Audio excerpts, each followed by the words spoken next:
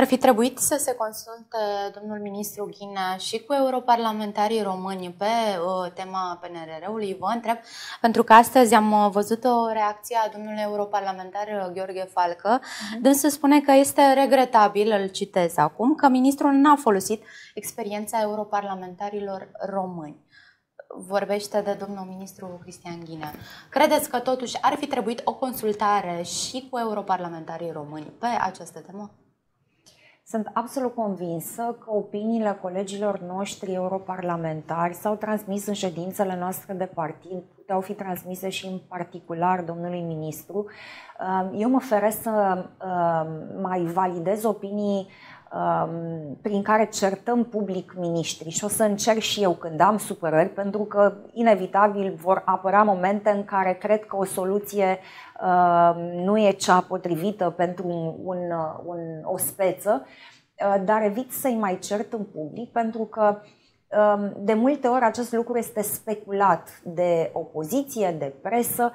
Um, poate domnul Falcă a dorit să transmită un mesaj constructiv, Uh, dar multă lume se gândește, uite ce scandal este acum în coaliție. Poate ar fi trebuit um, ca acest mesaj constructiv să îl adresezi direct ministrului și poate nu printr-o declarație da, publică, n-ar strica să, să încercăm să dialogăm uh, uh, mai direct și nemediat de presă cu miniștrii din cabinetul pe care noi îl susținem, europarlamentarii îl susțin și da, vă asigur că și domnul Falcă Uh, și Zicfried Mureșan și Rareș Bogdan și ceilalți colegi din Parlamentul European au o experiență extrem de valoroasă și știu exact uh, care sunt uh, ajustările necesare pentru ca acest PNRR să fie unul de succes.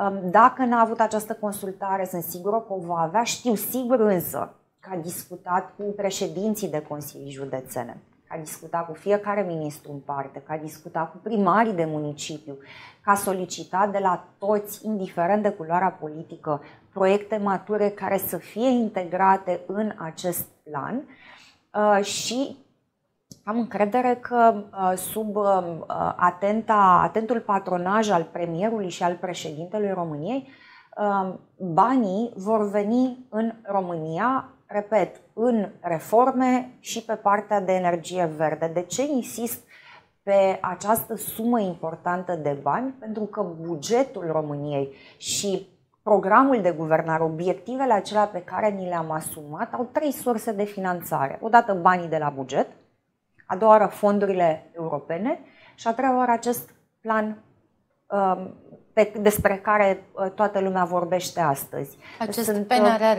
Acest așa. PNRR, cunoscut de toată exact. lumea ca PNRR, da. Uh, de aceea e foarte important să nu uităm de niciun fel de direcție, să încercăm să ne concentrăm și să respectăm ce am stabilit în buget și să atragem fonduri europene și să avem un plan coerent, astfel încât banii Uh, din PNRR să vină în România la termenele stabilite. Dar există în uh, Partidul Național Liberal uh, bă, lideri care bă, critică oarecum ministrul, îl critică pe ministrul Ghinea pentru cum a prezentat acest proiect în comisie, că am văzut că au apărut ieri informații în presă Eu am fost ieri legate la biroul de executiv. biroul executiv. Da. Exact. Am fost ieri și vă mărturisesc că nu a fost niciun fel de polemică la adresa domnului Ghina. Știu că este foarte simplu um, să transmiți o informație uh, către presă din interiorul ședinței, dar toată lumea era preocupată și încerca să spună, fiecare pe domeniul nostru de expertiză, că ne dorim ca acest uh, proiect să funcționeze pentru că e vital pentru România. Nimeni n-a criticat uh, reacția domnului Ghina, toată lumea a spus că va sprijini demersul instituțional al domnului ministru, deci nu am niciun fel de, de uh, emoție sau ezitare să vă spun că suntem foarte, foarte dedicați acestui proiect.